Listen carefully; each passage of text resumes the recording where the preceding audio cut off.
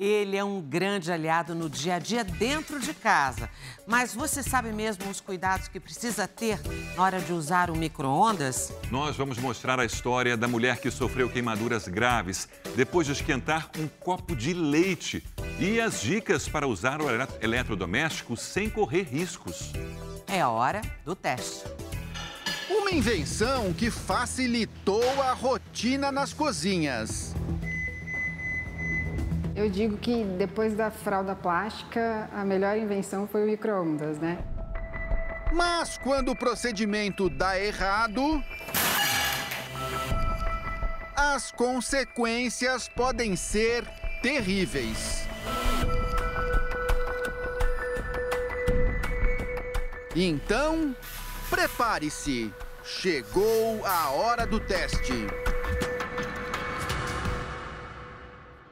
Quem olha o rosto da Rafaela hoje não imagina a gravidade do acidente que ela sofreu cinco anos atrás.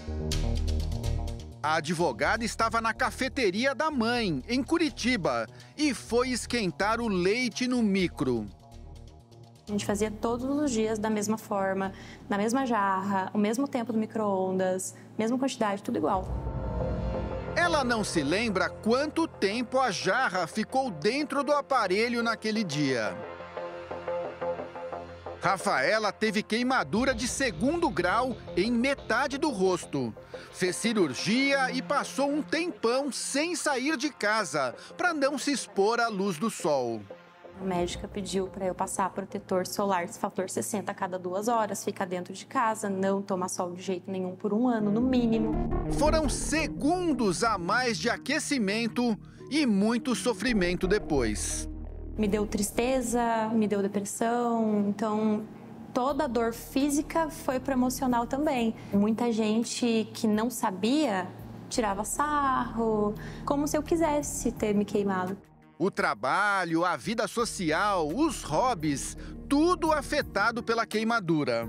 Eu fazia academia, eu lutava Muay Thai, então eu parei tudo isso que eu fazia, porque eu não podia suar, não podia nada. Minha visão, eu ainda não sei como vai ficar, eu estou enxergando, como posso dizer, 70%. Foi também o leite esquentado no micro-ondas que queimou a Fernanda dois meses atrás. Peguei um copo de 300 ml, coloquei leite dentro e esquentei por apenas um minuto no micro-ondas. Apitou tudo, eu deixei. Foi quando eu vi, ah, vou pegar o copo. Tava borbulhando. Aí eu olhei, nossa, tá borbulhando. Foi quando aconteceu a explosão. O caso dela foi ainda pior.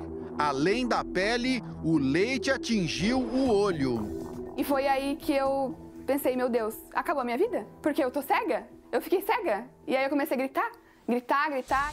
Ela usa colírio várias vezes ao dia, mas a visão ainda não voltou ao normal.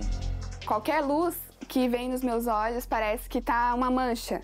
Fica uma mancha da luz ali, sabe? O micro-ondas está tão presente no nosso dia a dia que muitas vezes a gente nem presta atenção quando usa. Quem nunca programou mais tempo de aquecimento do que o necessário? Pois é, mas a distração ou a falta de informação ao usar esse aparelho pode trazer sérios riscos, como a gente vai ver agora na hora do teste. É importante lembrar que as ondas do aparelho agem nas moléculas de água dos alimentos. É, portanto, um processo de aquecimento bem diferente do fogão. Líquidos que são ah, aquecidos dentro do, do micro-ondas, apesar deles estarem estáticos, eles estão em ebulição, da mesma forma que na panela. Só que no fogão convencional a gente vê as bolhas saindo, né? Ah, no micro-ondas a gente não vê as bolhas, mas por dentro as moléculas estão em ebulição e que ao passo que qualquer movimento brusco do recipiente ocasiona aí a liberação dessas bolhas e, e, e aí pode queimar as pessoas. No laboratório da FEI, Universidade em São Bernardo do Campo, na região metropolitana de São Paulo, vamos começar o teste com água e leite. Segundo os professores, os acidentes acontecem quando os líquidos saem do micro com a temperatura em torno de 100 graus Celsius, ou seja, no ponto de ebulição. Foram várias tentativas, até que na hora do chocolate quente. Uh! Bom, aí queimaria a mão, hein, Michele? Sim. É... Isso se tivesse esse micro-ondas na altura. É e se eu estivesse tirando esse copo, eu ia também ah. me assustar, né? Entendi. E isso ia ficar maior. Nesse caso, se for uma, uma criança, né, fazendo, esquentando, né, poderia ter derrubado o copo, queimar o pé, queimar né? É. O fenômeno acontece porque o leite já estava em processo de fervura. Qualquer coisa que movimentasse a superfície provocaria a ebulição. É por isso que o micro-ondas funciona com a parte interna girando, para o produto esquentar em movimento. A gente vai fazer o teste agora com um ovo cozido, com casca, né? Isso é muito comum. É sim, né? hoje em dia né, faz parte do treino, né, da alimentação de quem treina. Então a gente vai. Uh, o ovo já está cozido, a gente vai só aquecer ele. Em apenas 30 segundos, no caso do ovo, é fácil entender a explosão. O ovo está ali dentro com uma pressão, essa membrana está travando, né? A casca não deixou sair o vapor? Não deixou sair o vapor. E aí esse vapor veio com uma pressão elevada e aí forçou a, a, a casca e explodiu.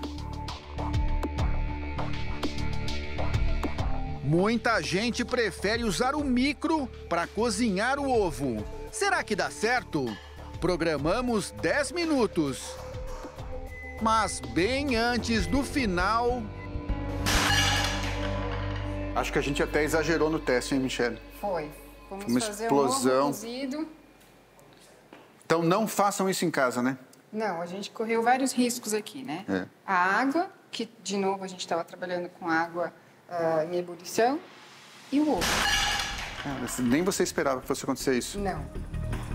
A nosso pedido, a professora mostrou o que acontece em outro erro comum: colocar papel alumínio no micro-ondas. Então, isso que a gente vê são alguns pontos de, de, de, de combustão aí do, do, metal. O metal tá pegando fogo, é isso? Tá, é isso. Então, Michele, papel alumínio e micro-ondas não combinam, né? É, materiais, né, componentes metálicos e micro-ondas não são recomendados pelo fabricante. Já produtos de plástico trazem outro tipo de risco. O ideal sejam aqueles que não tenham bisfenol, mas o risco mesmo é risco da saúde, ser cancerígeno, porque o plástico ele, ele uh, libera o bisfenol. Depois do acidente com o leite, a Rafaela e a Fernanda esperam que o trauma que elas viveram sirva de alerta para outras pessoas. Se eu tô com um copo de água, chá, leite, café, enfim, eu mexo lá dentro antes de tirar. Eu vou levar isso como um aprendizado e claro que eu quero alertar um número máximo de pessoas. Minha preocupação sempre foi as crianças, né? Que eu já sou frágil, mas eu sou adulta. E uma criança? Essa com certeza teria perdido a visão.